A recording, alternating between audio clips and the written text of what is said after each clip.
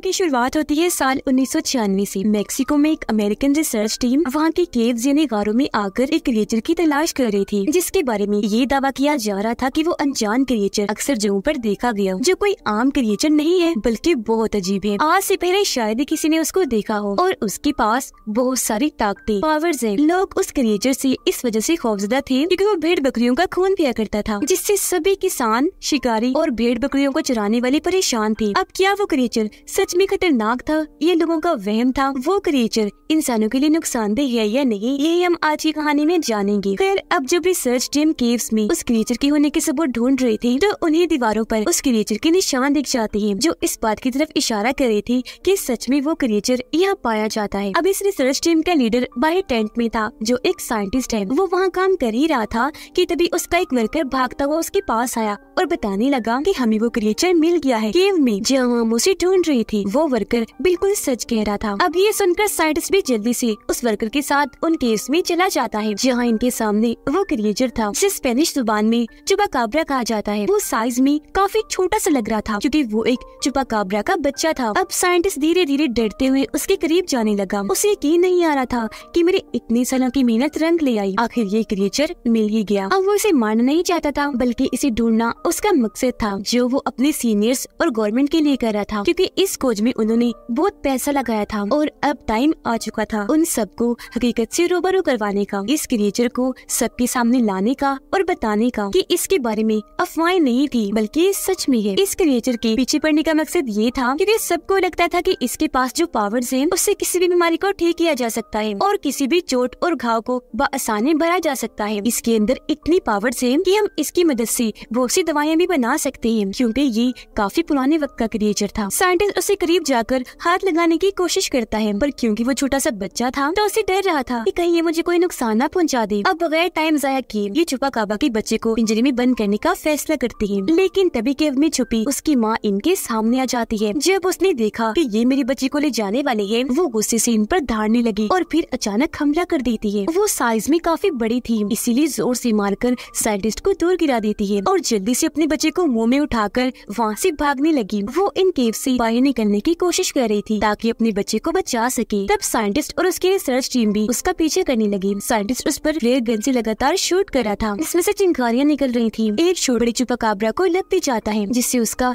एक पंख जल गया। वो जख्मी हो गई। यह हम सही से इस क्रिएचर को देख पाते हैं। ये दिखने में टाइगर और शेर जैसा था, लेकिन इसके पंख भी थे, जिनकी मदद से ये उड़ सकती थी। लेकिन अब क्योंकि साइंटिस्ट ने उसका एक पर जख्मी कर दिया था तो अब उड़ने में उसे काफ़ी मुश्किल पेश आ रही थी। इसीलिए वो बस भागती ही जा रही थी, जबकि साइंटिस्ट अपनी टीम के साथ लगातार उसके पीछे अपनी गाड़ी भगा रहा था, क्योंकि वो हर हाल में इसे पकड़ना चाहते थे। अब ये चुपा काबरा बहुत चिल्ला क्रिएचर था। वो अपने बच्चे को लेकर जब सड़क पार कर रही थी कि तभी एक गाड़ी उसे ज़ोर से आकर टक्कर मार देती है, जिससे चुपा काबरा दूर जाके गिरती है, जिससे माँ और बच्चा दोनों अलग अलग जाके गिरते हैं। अब बच्चे को तो कुछ नहीं हुआ, पर माँ और जख्मी हो गई। उसका एक पंख बुरी तरह से टूट गया। और सर्च टीम अभी तक इनके पीछे लगी हुई थी। और क्योंकि लाख कोशिशों के बाद भी ये उनसे नहीं बच पाई इसलिए चुपा काबरा को एक आइडिया आया। और वो अपने बच्चे को वही एक महफूज जगह पर छोड़कर दूसरी जगह पर चली जाती है। और वहाँ रिसर्च टीम की गाड़ियों के सामने आकर ज़ोर से चिल्लाने लगी। उनका ध्यान अपनी तरफ़ करने के लिए और जैसे सबका ध्यान उसकी तरफ़ हुआ, वो भागकर उन्हें दूसरी जगह पर ले गई ताकि ये लोग उसके बच्चे से दूर हो जाएँ, जो उसके बच्चे को नुकसान पहुँचा सकते हैं। अब साइंटिस्ट इस कामयाबी से खुश हो रहा था, पर अभी उसने ये चीज़ साबित नहीं की थी, जिससे साफ़ ज़ाहिर है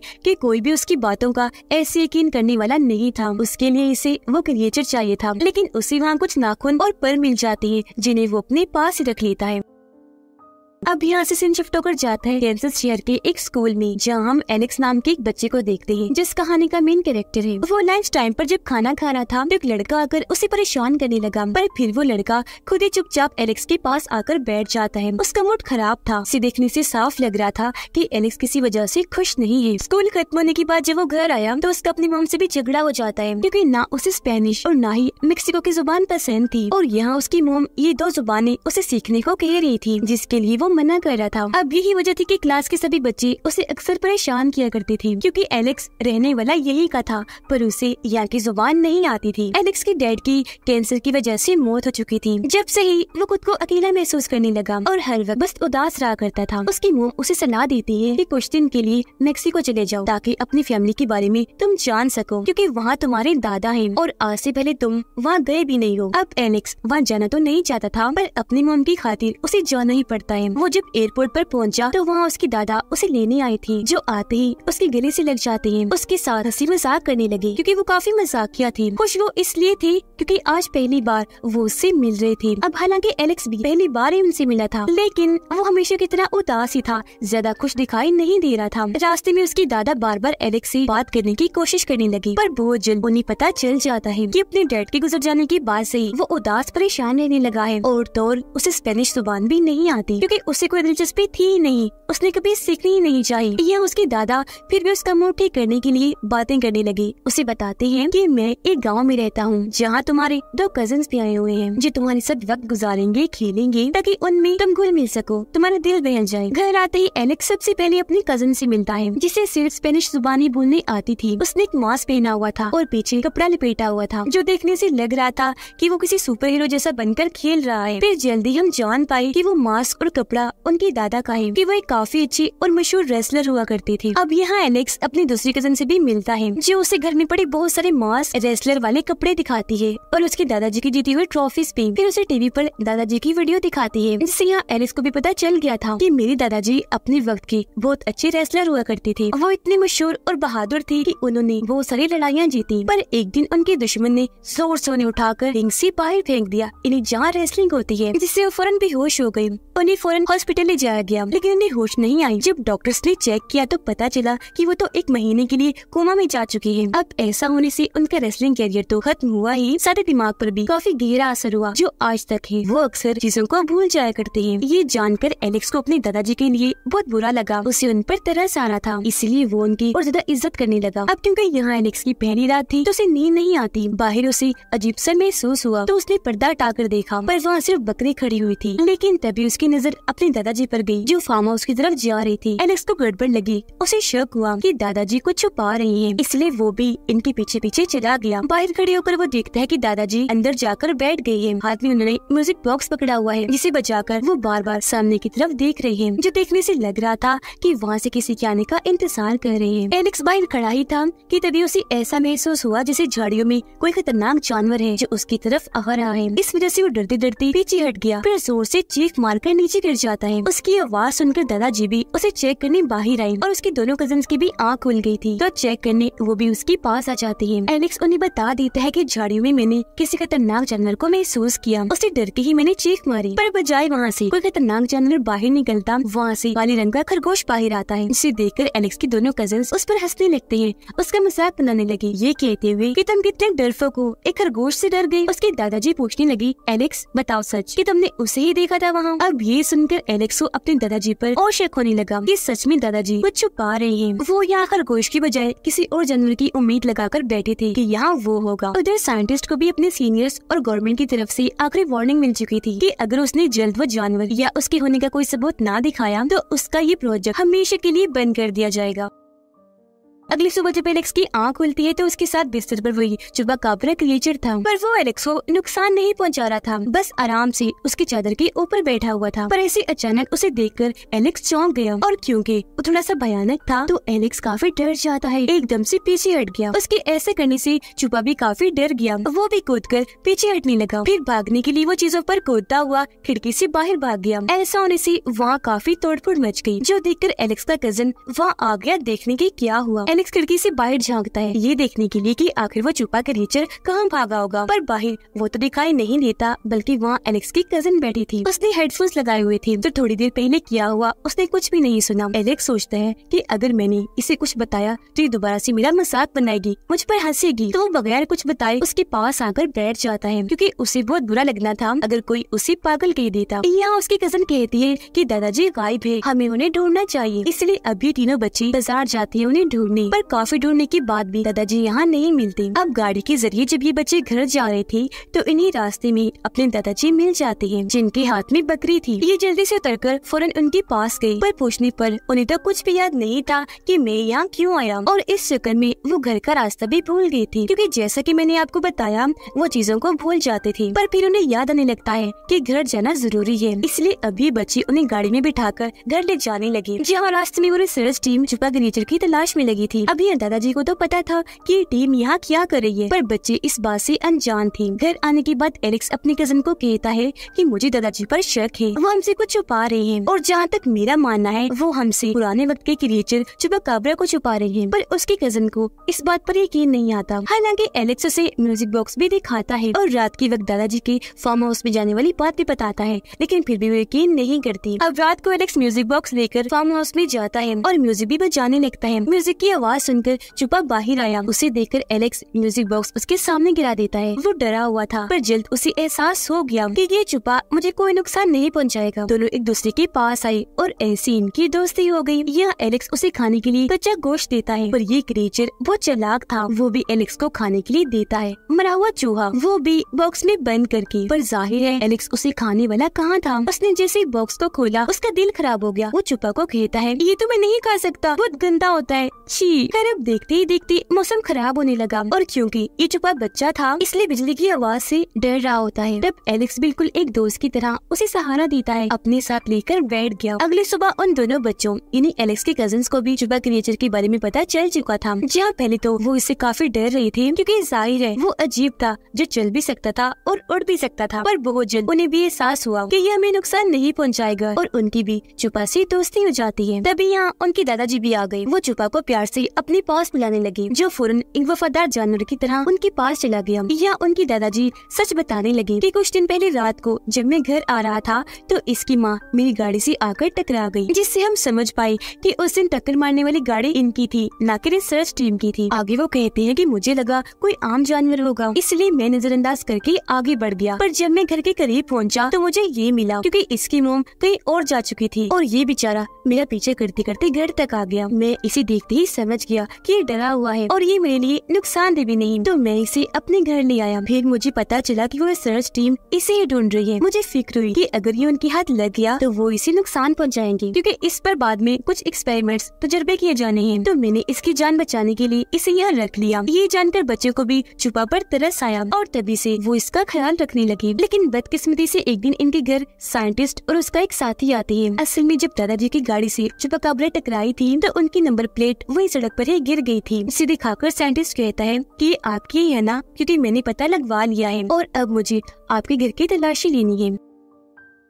पर दादाजी बगैर डरे उसे साफ़ साफ़ मना कर देते हैं कि कभी नहीं, मैं तुम्हें इसकी इजाज़त नहीं दूँगा। और उसे धमका कर यहाँ से भगा देते हैं। एलेक्स और चुपा की दोस्ती गहरी होती जा रही थी, पर क्योंकि वो बच्चा था और डरा हुआ भी था, इसलिए फ़िलहाल उसे उड़ना नहीं आ रहा था, क्योंकि वो हिम्मत नहीं कर पा रहा था। तब यहाँ उसकी मदद एलेक्स का कज़न करता है। वो छत पर ले जाकर उसे उड़ना सिखाता है और बार बार उसे ट्रेनिंग देता है की कैसे उड़ा जाता है। अब यहाँ एलेक्स को भी देखने ऐसी साफ़ साफ़ लग रहा था की अब वो खुश है। यहाँ आकर उसे काफ़ी अच्छा लग रहा है, क्यूँकी अब उसे इतना मेरा दोस्त जो मिल गया था और साथ में इतनी अच्छी दादाजी और कज़न भी। फिर एक दिन दादाजी उसे उसके डैड के बारे में बताने लगी कि जब मैंने रेसलिंग छोड़ दी तो मैंने वो तुम्हारे डैड को सिखाई। वो मेरा बेटा होने के साथ साथ मेरा काफ़ी जहन शिगिर्द भी था। पर फिर एक दिन उसे तुम्हारी मोम मिल गई। उसने शादी कर ली तो तब से उसने रेसलिंग को छोड़ दिया था। अपने डैड की ये बातें सुनकर एलेक्स को बहुत बुरा लग रहा था, जिससे उसके दादाजी भी अंदाज़ा लगा रहे थे कि एलेक्स के अंदर बहुत गुस्सा भरा है। जिसे अंदर ही अंदर लेकर घुट घुट कर वो अपनी ज़िंदगी गुजार रहा है। तो फैसला करती है कि मैं इसका गुस्सा निकलवा कर इसे नॉर्मल कर दूँगा, जिस मकसद के लिए वो उसके साथ कुश्ती लड़ती है और उसे लड़ने के लिए उकसाने लगी ताकि वो अपनी कुश्ती लड़कर अपना गुस्सा और बड़ास निकाल ले। लेकिन क्योंकि वो उसके दादा थे तो वो उन पर हाथ नहीं उठाना चाहता था। पर आखिर में जब उसके दादाजी बात नहीं मानते तो उसे गुस्सा आ गया। वो उनसे कुश्ती लड़कर उन्हें रिंसी बाई धक्का दे देता है। वो इतने ज़ोर के गिरते हैं कि फ़ौरन ही बेहोश हो गई। ये देखकर तीनों बच्चे काफ़ी परेशान हो गए और वहाँ फ़ौरन डॉक्टर को बुलाया जाता है, जो दादाजी को चेक करके बताती है की कुछ दिन के लिए लिए इनकी यादाश्त जा चुकी है। इन्हें मुकम्मल आराम करना है। उसी दिन साइंटिस्ट इनके घर दोबारा आ गया। वो जैसे फार्म हाउस में गया वहाँ छुपा को देख लेता है। उसे गन से मारकर बेहोश कर देता है और गोद में उठाकर अपने साथ ले जाने लगा। हालाँकि बच्ची उसे रोक रही थी। छुपा को बचाने की कोशिश करते हैं, पर क्योंकि वो बच्चे थे तो साइंटिस्ट उन्हें भी गन दिखाकर छुपा को वहाँ से ले जाता है। जिससे वो तीनों बच्चे काफ़ी दुखी हो जाते हैं। अब एलेक्स जल्दी से भागकर अपने दादाजी के पास आया, जब वो सो रही थी। उन्हें जगाकर कहता है कि आपको छुपा को बचाना होगा। उसके दादाजी की क्योंकि यादाश्त जा चुकी थी। इसलिए पूछते हैं कि कौन छुपा और तुम कौन हो? अब इससे एलेक्स अपना दिमाग लगाता है। उसे आइडिया आया। वो अपने दादा को कहता है कि घर में आपका वो दुश्मन घुस आया है जिसने रिंग से आपको बाहर गिरा दिया था। ये सुनकर उसके दादा को बहुत गुस्सा चढ़ गया। वो जल्दी से अपना मास्क कैप पहनती है और पिछला कपड़ा लटका कर बाहर आ गई और साइंटिस्ट से लड़ने के लिए बिल्कुल तैयार हो गई। आते ही उसे जोरदार टांग मारती है, जिससे वो काफ़ी दूर जाके गिरता है। फिर वो अपनी ताकत का इस्तेमाल करके उसे आसानी से हरा देती है, क्योंकि वो एक पहलवान थी। ऐसा करने के बाद ये सब बाहर आए और साइंटिस्ट की गाड़ी में बैठकर यहाँ ऐसी भाग जाते हैं, क्योंकि गाड़ी में उसने पहले छुपा को रख दिया था। ये देखकर साइंटिस्ट जल्दी से अपनी टीम को इस बारे में खबर करता है। वो लोग गाड़ी में बैठकर काफ़ी खुश हो रहे थे, क्योंकि अब वो छुपा को उसके घर छोड़कर आने वाले थे, जहाँ उसकी पूरी फैमिली होगी। एलेक्स अपने दादा से पूछता है की आपने इसकी मोम को किस तरफ़ जाते हुए देखा था? क्यूँकी उसकी मोम जहाँ गई होगी, वहाँ इसका घर होगा। तो हम इसे भी वही ले जाएँगे। पर ज़ाहिर सी बात है, हमेशा की तरह उसके दादाजी ये बात भी भूल गई थी। ये लोग छुपा को प्यार करने लगे। फिर जैसे गाड़ी से उतरते ही चुपा खुद ही दूर भागने लगता है। इसे देख ये लोग भी उसके पीछे पीछे भागने लगे, क्योंकि ये समझ गए थे कि चुपा अपने घर का रास्ता जानता है और उसी तरफ़ भाग रहा है। चुपा के बिल्कुल पीछे एलेक्स था। ये दोनों भागते भागते एक गहरी खाई के पास आ जाते हैं, जिसके ऊपर लोहे का मोटा सा पाइप लगाया गया था। अब क्योंकि चुपा उड़ने से डरता था, इसलिए वो उड़ के आगे नहीं जाता, बल्कि पाइप के ज़रिए ही आगे बढ़ने लगा। तब वो उसे जाता हुआ देखकर बाय बाय करने लगता है। अब पीछे जब एलेक्स खड़ा था तो तभी वहाँ टाइगर आ जाता है, जो एलेक्स पर हमला करने के लिए आगे बढ़ रहा था। इससे वो काफ़ी डर गया और पाइप के ऊपर चढ़ना शुरू कर देता है। तभी यहाँ उसके दादाजी भी आ गए और क्योंकि काफ़ी बहादुर थे,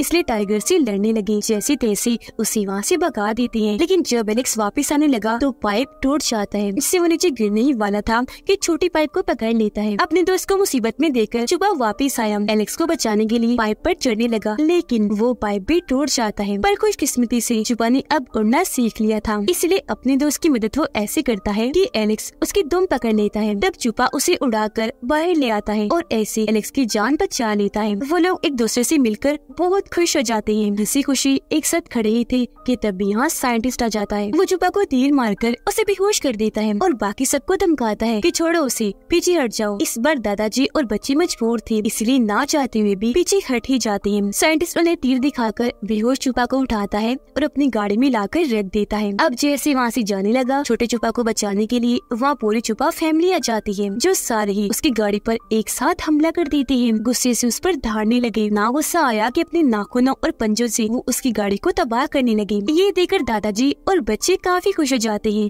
कि अब चुपा बच्चे की जान बच जाएगी। पर साइंटिस्ट चलाक था। वो छोटे चुपा को गोद में लेकर बाहर आ गया और बड़े चुपा कापस को हथियार दिखाकर डराने लगा। छोटे चुपा को होश आ गई थी। पीछे से दादाजी आकर साइंटिस्ट को पकड़ लेते हैं। उसकी बाजू को मोड़कर चुपा को छुड़वा लेते हैं। आखिर में फिर रेसलिंग की एक ट्रिक से वो उसे उठाकर ज़मीन पर पटक देते हैं, जिससे साइंटिस्ट वही ढेर हो जाता है। छोटा चुपा अपनी फैमिली के पास आकर बहुत खुश हो जाता है। अब एलेक्स और चुपा बहुत अच्छे दोस्त थे तो एक दूसरे को प्यार से आखिरी अलविदा कहते हैं, जिसके बाद अपने अपने घर जाने के लिए वहाँ से निकल जाते हैं। अब एलेक्स अपने कज़न के साथ काफ़ी खुश था और अब कुछ दिन के बाद उसने अपने घर जाना था। उसने यहाँ बहुत अच्छा वक्त गुजारा, जहाँ पहले वो उदास रहा करता था, अपनी फैमिली को पसंद नहीं करता था, लेकिन अब फैमिली को जानने के बाद उनके साथ इतना अच्छा वक्त गुजारने के बाद वो उन्हें बहुत याद करेगा। उसके दादाजी भी खुश थे, क्योंकि वो जैसे एलेक्स को सिखाना चाहते थे, वो सीख गया। यहाँ दोनों एक दूसरे को अलविदा कहते हैं, गले से मिलते हैं, जिसके बाद एलेक्स लेन में आकर बैठ जाता है और हँसी खुशी अपने घर वापस लौट आया था। पर जब एलेक्स ने बाहर देखा तो वहाँ छुपा हवा में उड़ रहा था। काफ़ी खुश था। उसे उड़ने में बहुत मज़ा आ रहा था। उसे देखकर एलेक्स हैरान तो था, साथ में खुश भी, क्योंकि अब वो हमेशा आज़ाद ज़िंदगी गुजारेगा। यह चुपा ने अपनी दोस्ती का हक अदा किया। वो एलेक्स को अपनी झलक दिखाने आया था, जिससे दोनों दोस्ती बहुत खुश थी। क्योंकि दोस्ती चाहे जानवर की हो या इंसान की, अगर कोई निभाने वाला हो तो आप उसके साथ हमेशा खुशी महसूस करते हैं। इसी के साथ इस मूवी की कहानी यहीं पर खत्म हो जाती है।